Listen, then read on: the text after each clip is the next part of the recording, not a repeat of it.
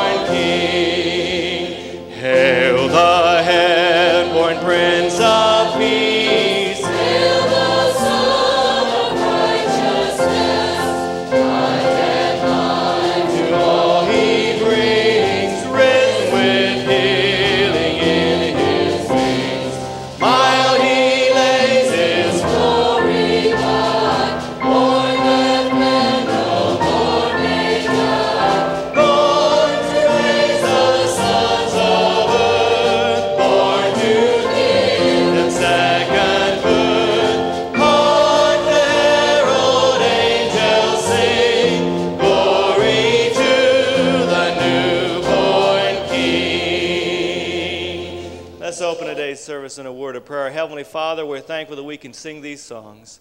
Lord, we're thankful that we can be here today to worship together in your house. Lord, let this day be a day of encouragement, a day of enlightenment. Lord, let it be a day of, of even rebuke if that's needed. And what you would have for us today, Lord, just guide and direct this day. We ask it in your precious name. Amen. Thank you. You may be seated. I want to take a moment to welcome you. If you're a first time visitor, please take a moment to fill out the little card in front of you in the pew, drop it in the offering plate a little bit later as it's passed. And also, we'd like to meet with you back to my left, your right, in the narthex area back here. There's a room that says Welcome Center on it. We'd love to meet with you and uh, get to know who you are. We'd love you to do that. If you could do that, please do. Those of you that come every Sunday, we're glad you're here. Your pew was waiting for you all week. It was glad you're here, okay?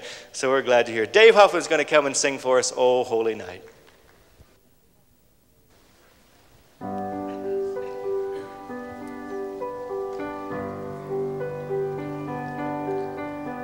Oh, holy night, the stars are brightly shining.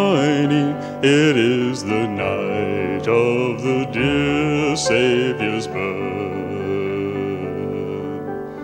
Long lay the world in sin and error pining, till he returned and the soul felt his worth a thrill of hope. The weary world rejoices, for yonder breaks a new and glorious morn.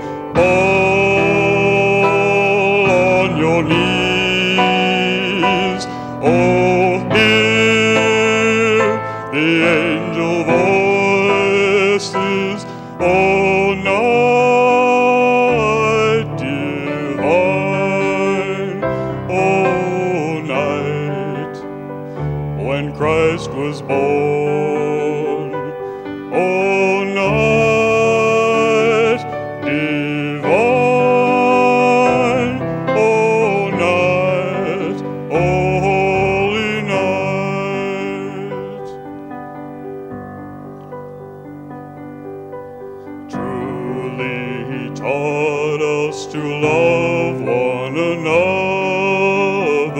His law is love, and his priest is for all. Chains he will break, for the slave is our brother. Sweet hymns and oppression will leave sweet hymns of adore you in glorious praise and raise his holy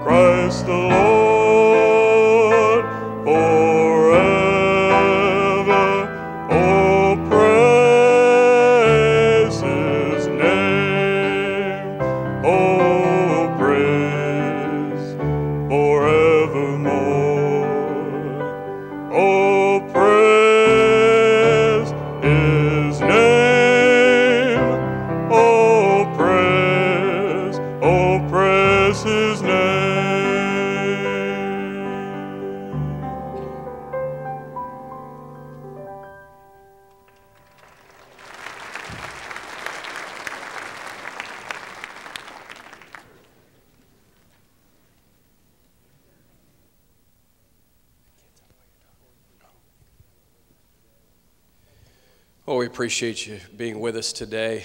Thank the Lord as we gather our thoughts this time of year, truly what Christmas is about. Our children's choir is going to sing for us in just a moment. As they're getting uh, ready, I'm going to ask our ushers to prepare for the offering this morning.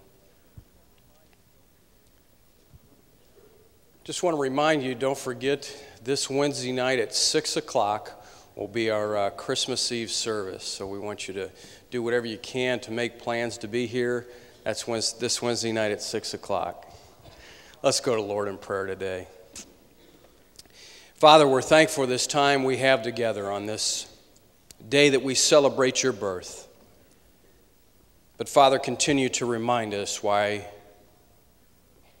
that you sent your son. and that was to live a life without sin and to die on a cross for all our sins, Lord, so that we could have eternal life in heaven. I thank you for our Lord and Savior's birth, his death, and his resurrection, Father. Lord, take this offering and use it to your glory. In Jesus' name, amen.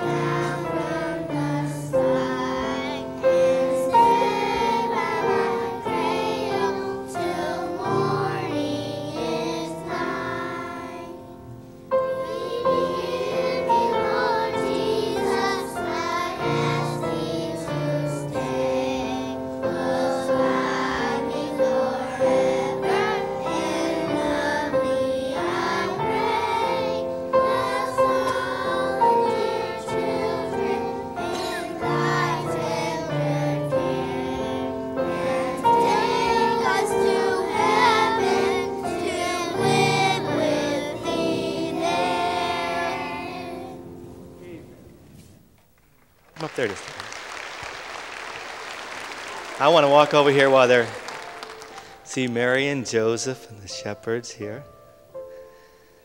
Isn't this something? Isn't this something what they did there today? Good, you guys did a good job. What's Mary? Mary, are you? What's your name? Veronica. Veronica's Mary Day. Where's Joseph? Is Joseph here? Joseph, what's your name? Justin. Justin. Very good. Good job. You guys did this up in Sunday school today, didn't you today? So good. Isn't it great to know the story and the real meaning of Oh, he says I should ask everybody to tell their names. Okay, we'll do that. Okay, what's your name, Shepherd? Jimmy. What was that again? Say it louder. Jimmy. Okay, and this this is an angel. Jessica. Vincent. Nathan. Josh. Brittany. Alex. Okay, hang on. I'm coming over there. Okay, just a minute. And here's an angel. Sarah. Mark. Kelly. Get over here. Brittany. Marissa. All right. Good job, guys. This is very good. I'll tell you what, I know there's a lot of other little kids out there that didn't get to sing Away in a Manger. Why don't you all come up? Let's let all the little kids come up and sing Away in a Manger. Wouldn't that be neat? If you're under the age of, let's say, seven, eight years old, why don't you come up, okay? Come on up, kids. We'll give you time to get here. Right up these sides right here. Come on up, right up here. You can right up here. Now, if some of you are sitting out there saying, oh no, this is taking time, I'm not going to get the chicken house on time, just too bad, okay? You get leftovers. Come on up. Is that all the little kids we got out here today? And then no more kids? Come on. Up in the balcony. They're coming down from the balcony. Come on.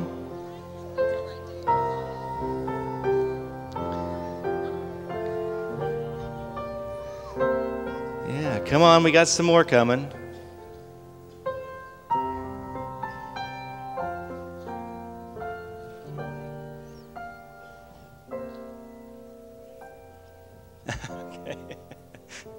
Ann was pointing out her granddaughter there, so, you know. She'll show pictures here in just a minute if we don't hurry up and have them sing.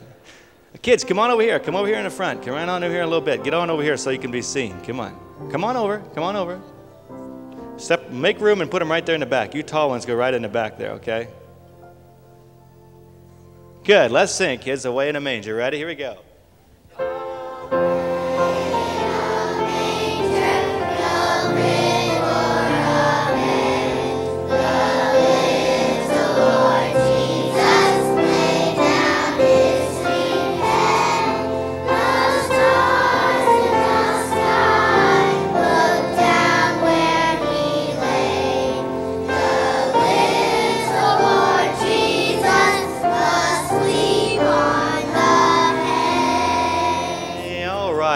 Very good. We're going to let you come down now. They did a great job.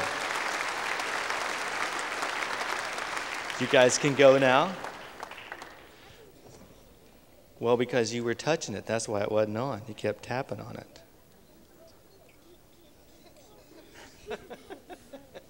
you guys can go now. Don't forget to take the baby with you, okay?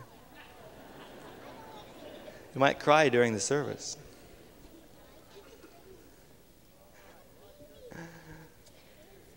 All right, well, it's your turn to sing again. Take your hymn book if you would, and we'll turn to hymn number, and I'll tell you what that is. Hymn number 90, and we'll sing it Came Upon a Midnight Clear. I'll let you be seated while the kids come.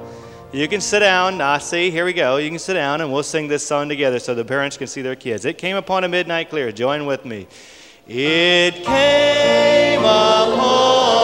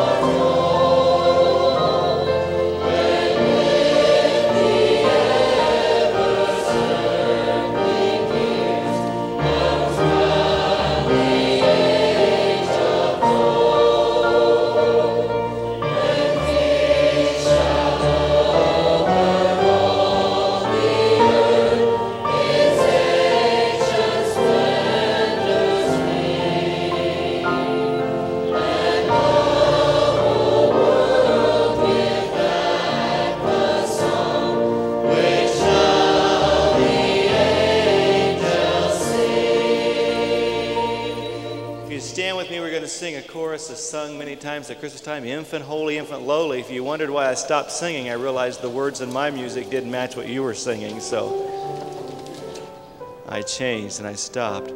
I think you know this song. You've heard the tune, I know you have. A song that doesn't get sung that much at Christmas time here at church, and we'll join together as we sing. Infant holy, infant lowly,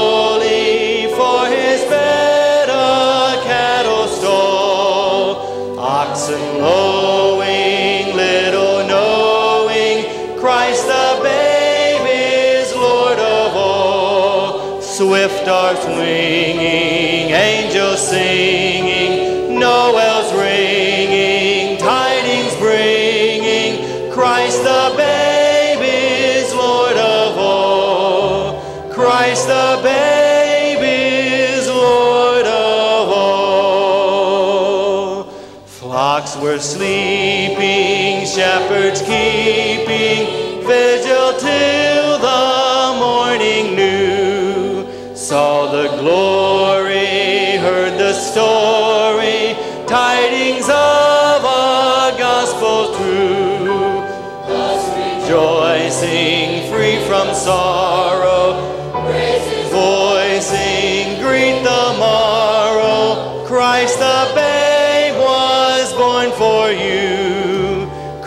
the babe was born for you. Then we'll sing a song you know. What child is this who laid to rest on Mary's lap is sleeping? Mm-hmm. What child is this who laid to rest on Mary?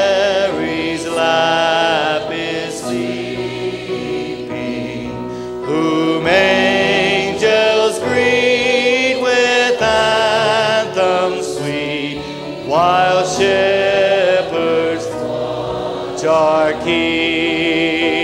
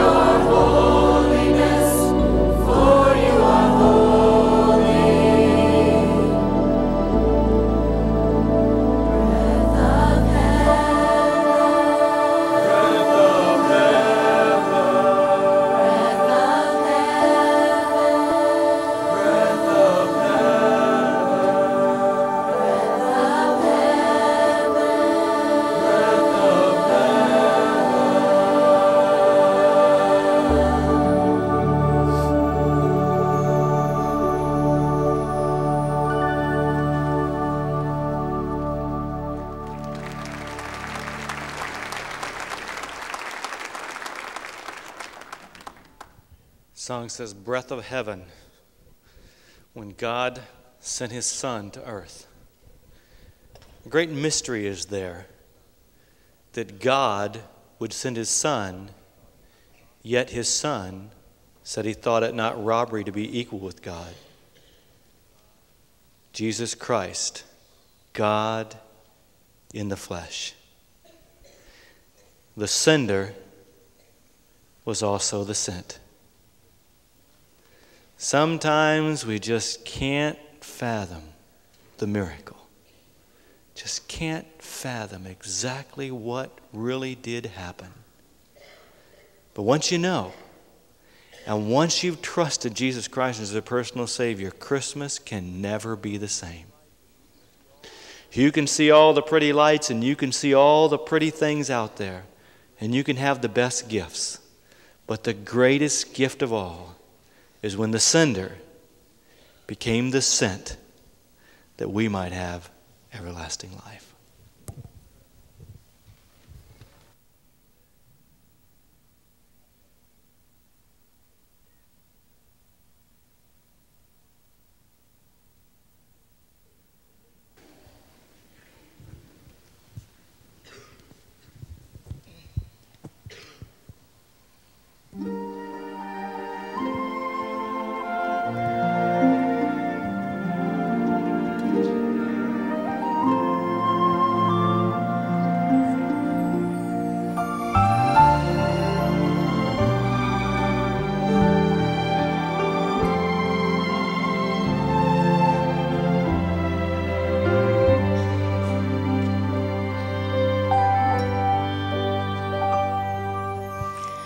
The star that marked the baby's birth was spoken by his voice.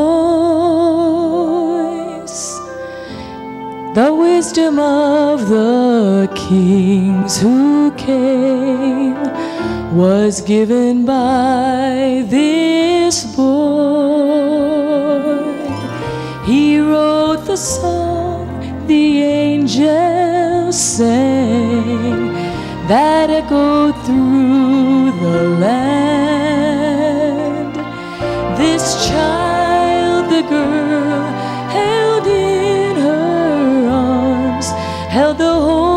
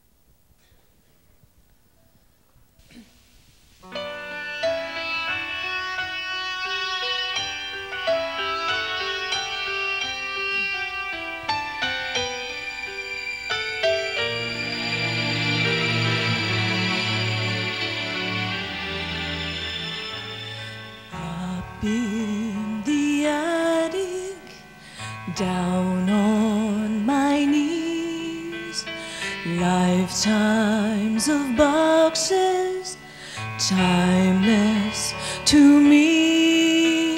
Letters and photographs, yellowed with years.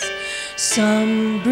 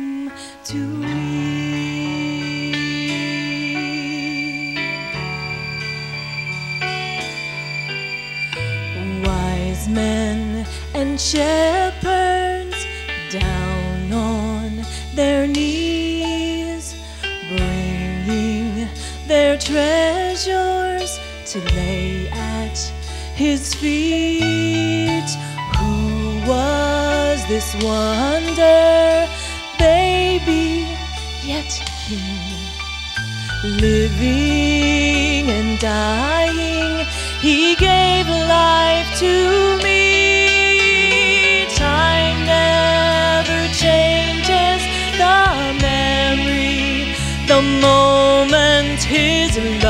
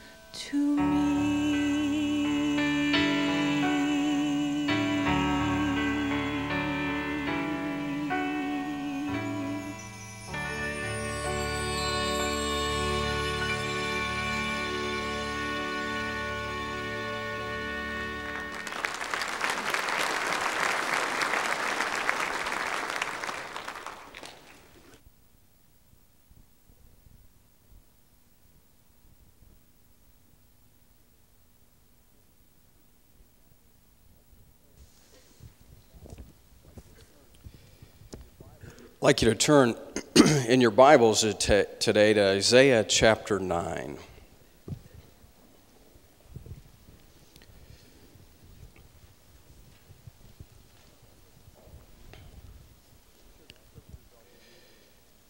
Two of the scriptures I'll be using this morning are also on the bulletin if you don't have your Bibles with you today.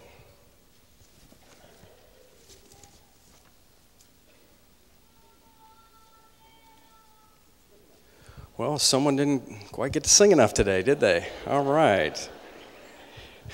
you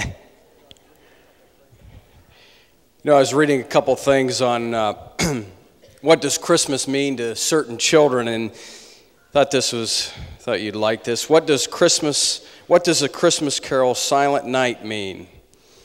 And um, Gail, who's age nine, said it's supposed to be a quiet night because back there in the Holy Land, Jesus needed his sleep to get ready to do all those miracles. So I thought that was pretty good. We're looking at Isaiah chapter 9 and verse 6 today on God's gift. God's gift of peace. Would you stand with me this morning as I read God's word?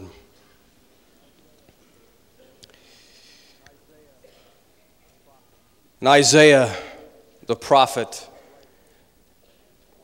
he's writing the words in which God inspired him to write, in Isaiah chapter 9 and verse 6 For unto us a child is born, unto us a son is given. And the government shall be upon his shoulder, and his name shall be called Wonderful Counselor, the Mighty God the everlasting Father, the Prince of Peace. Let's pray. Father, as we learn about your gift of peace today, I know there are hearts here that are troubled. I know there are hearts that need encouraged. Father, let them know that you are the Prince of Peace you are the source of peace. You are the God that they need today. In Jesus' name, amen. Thank you. you may be seated. You know, the first thing that we need to understand that you're God's child when it comes to understanding that He's going to give you the peace that you need. I'd like to share with you a true story about Terry Bowden, coach for Auburn. In December 1993, the Bear Bryant Coach of the Year Award was presented to young Terry Bowden, the first year coach at Auburn University. Terry had taken a struggling program, was on probation, and led his team to an undefeated season. Interestingly enough, Terry's father, Bobby Bowden, who's a coach at Florida State, also was nominated the same year for the same award. There was a lot of good natured joking and teasing at the banquet about both father and son being considered for this prestigious award. Of course, when Terry won, nobody in the room was happier and prouder than his father. In his acceptance speech, Terry thanked his team, his fellow coaches, Auburn University, and then his family. I owe so much to my parents, he said. Many of you in this room know my mother and you know how special she is. But let me tell you about my father. My parents always took us five kids to church, all five of us. Even when we were on a trip, they took us to church. Once, while we were on vacation, we went to church that was a little more emotional than we were used to. The minister was shouting and pounding the pulpit. He began to look around at the congregation for someone to single out, and he spotted my father. Mom and dad had marched us down to sit all the way down on the front pew. Mom was on one end of the five kids, dad was on the other end, and we were all just squeezed in between. The preacher pointed dramatically to my dad, and this conversation took place. You there, do you have faith? Yes, I have faith, he answered. The preacher said, If I put a two by four down across the floor, do you have enough faith to walk across it? We said, Yes, I could do that. But said the preacher, what if I took the same two by four and placed it across the top of the two tallest buildings in New York City? Would you have enough faith to walk across it then? No, I don't have that much faith, his dad answered. But what if someone was standing on the other end, said the preacher, and was dangling one of your children off the side? Would you cross the board then? Terry said that his father turned and looked down the pew at his five kids and asked, Which one?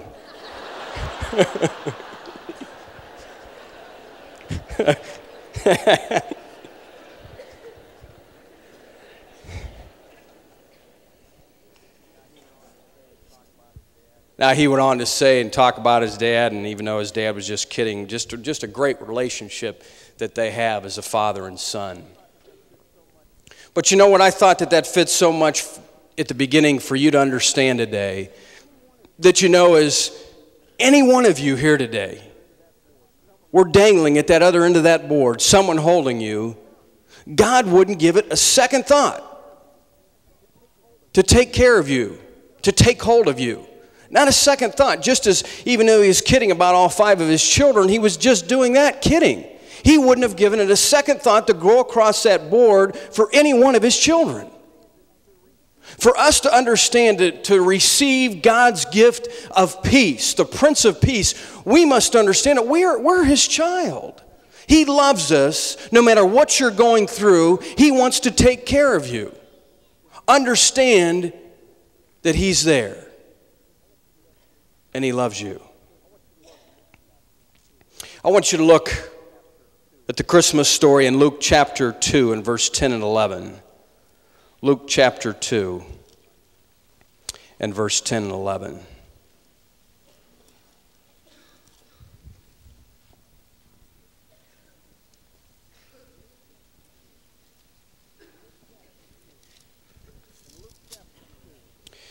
In Luke chapter 2, verse 10 and 11,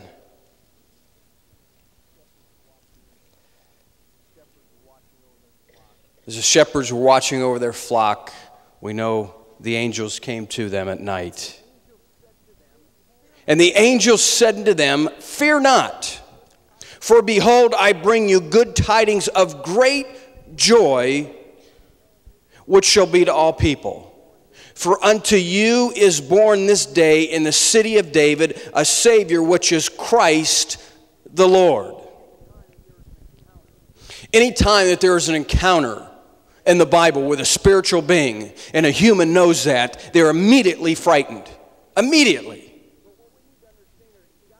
But what we need to understand here God's peace is founded on good news, not fear. Notice what the angel said there. What does he say right at the beginning? Right at the very beginning. And the angel said to them, What? Fear not. When God brings us his gift of peace, no matter what we're going to, what he wants us to know is don't fear. Don't fear what you're facing. Right away, right at the beginning, before he says anything else, he says, Fear not. Why is that? Because God's peace is founded on good news, not fear.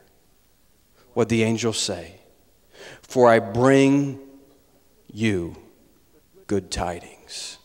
The good news. That's what the gospel means. The gospel means good news. The good news is today, no matter what you're facing, you can have peace because the good news is you know Jesus Christ is your Savior, and that means He's in control of your life. That means He wants to be. That means no matter what happens to you, you know that you're going to heaven. That's the good news. That's the peace that you can attain no matter what news that you hear this week.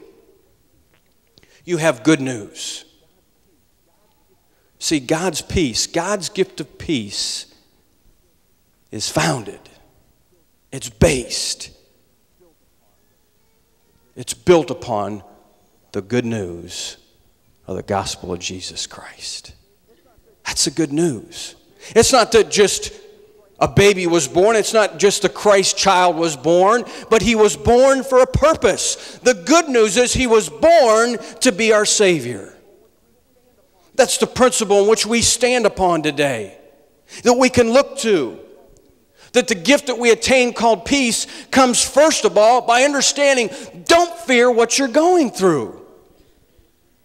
God loves you, and He's going to be with you. And the good news is, He's your Savior, and you're going to heaven. Secondly, today, God's peace is founded upon a relationship.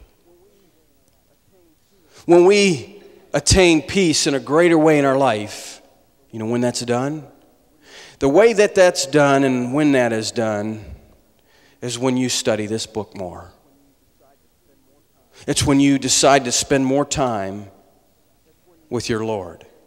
It's when you decide to say that I'm going to commit more time to even being here. God's peace is based on your relationship. You know, one time there was a um, quite a large gathering of people in Ohio decided that they would throw a, a birthday party for a good friend of theirs. They sent out all the invitations. They did everything. They even rented a hall. Everybody bought all the presents, the gag gifts, the food. They catered all the food in and everything. There was only one problem. They, they got there that night, And they all looked around and they realized that they had forgot to invite the person whose birthday it was. True story. Well, you know what they did? They kind of looked around, said, Well, let's just eat the food and open the gifts and we'll just have a lot of fun, anyways. God's peace is based on a relationship. Now let's think about it for a minute.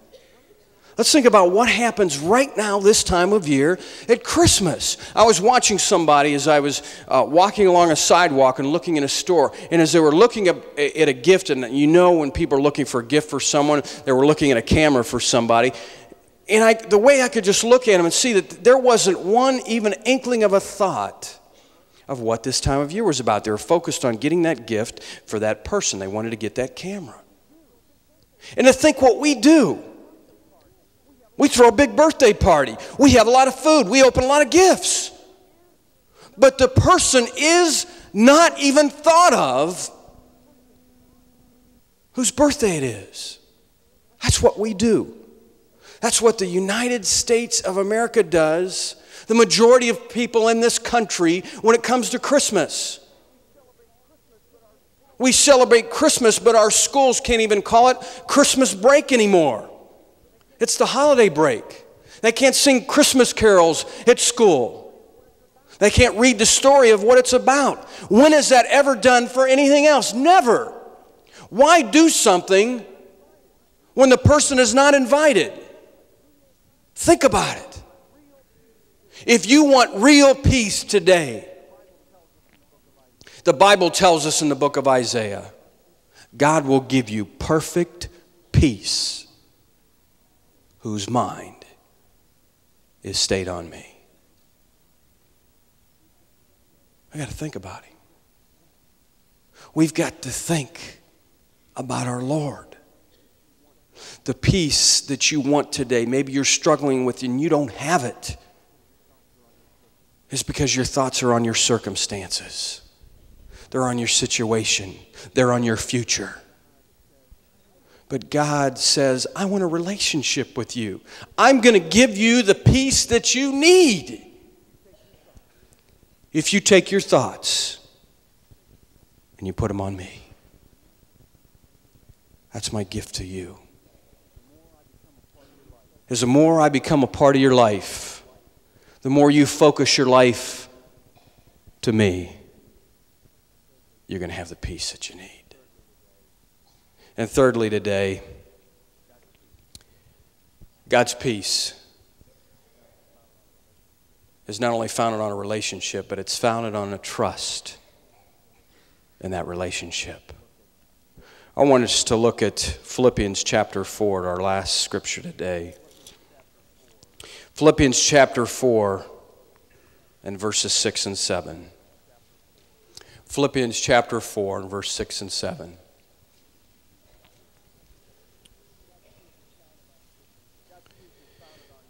God's peace is founded on good news and not fear. God's peace is founded on a relationship. And God's peace finally is founded on trust. Do you know it compounds that relationship? You know, the, the more that you trust somebody, why is that? It's because the closer relationship you have with them. The more that you trust, the stronger the relationship, the greater the trust. Philippians chapter 4 and verse 6 and 7. Be careful nothing. In other words, don't be anxious about anything. But in everything by prayer and supplication with thanksgiving, let your requests be made known unto God. Now listen. And the peace of God, which passes all understanding, in other words, it goes, it transcends beyond any human intellect, shall keep your hearts and minds through Christ Jesus. Whatever you're anxious about, go to God. And the peace of God, which passeth all understanding, shall keep your hearts and minds through Christ Jesus. See how important that relationship is? See, God's gift of peace, when it's based on good news of the gospel and your relationship with Jesus Christ, then the trust factor comes in. The trust factor comes in. And I'm asking you a question today. Will you trust God enough, just enough, to let Him hold you? That's all He wants to do. During World War II, the years in which it took place was another Christmas Eve. And there were some soldiers that were fighting on the front lines. Their commander said, You've been up here enough. It's time for you to go back. I want you to go back to such and such city.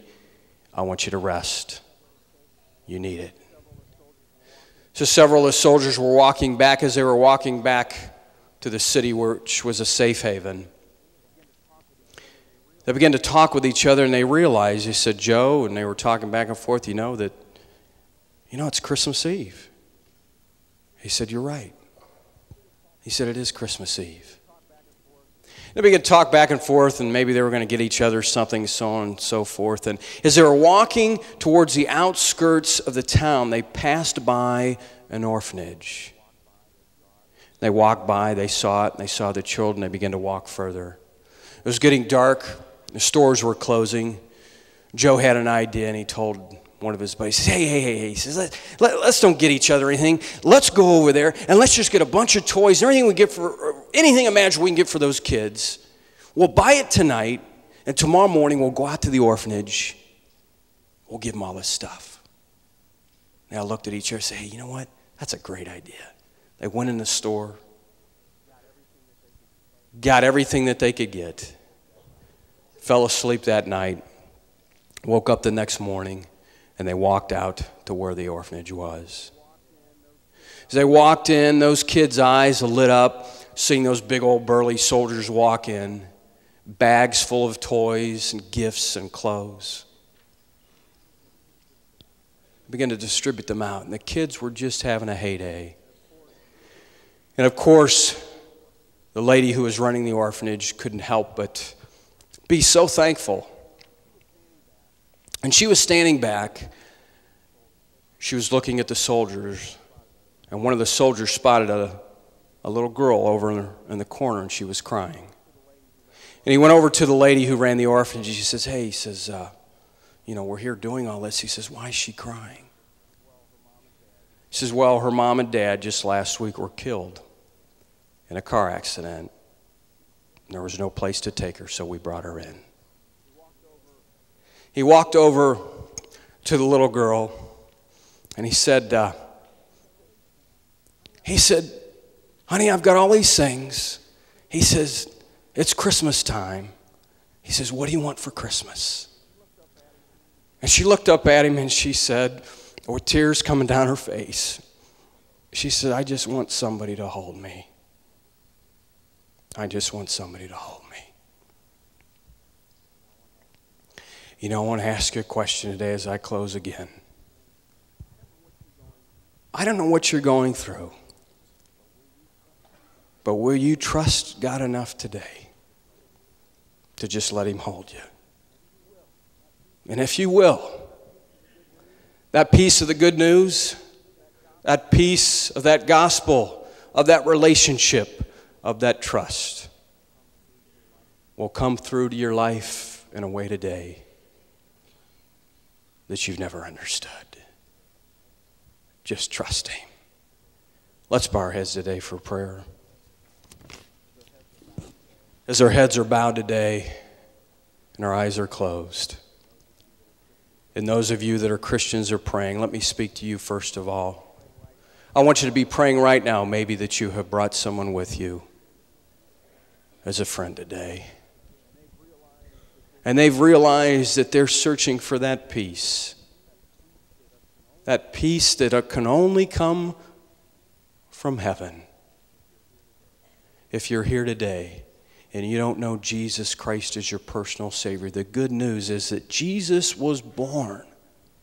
Jesus was born to die on a cross, to give you eternal life in heaven, to give you, for God so loved the world that He gave.